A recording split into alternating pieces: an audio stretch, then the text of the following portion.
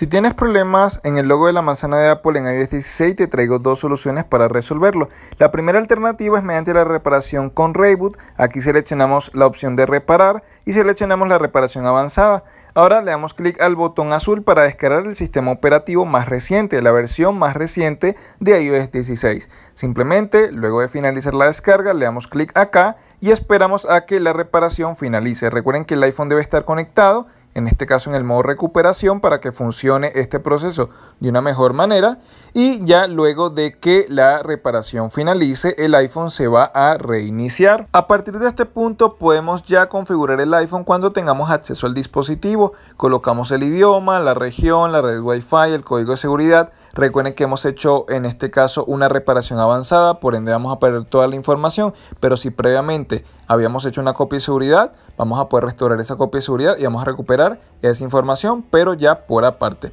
Una vez que ya tengamos acceso al iPhone, bueno, vamos a tener las aplicaciones y ya hemos resuelto el problema.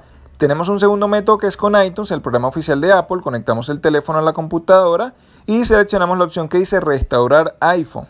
iTunes también se encarga de descargar el sistema operativo, la versión más reciente de iOS 16, para poder reparar el problema del logo de la manzana de Apple que teníamos anteriormente. Ya sería cuestión de esperar a que el proceso finalice. Vuelvo y repito, aquí vamos a perder toda la información que nosotros teníamos previamente pero si anteriormente habíamos hecho una copia de seguridad, vamos a poder recuperar esa información sin ningún problema, pero ya por aparte.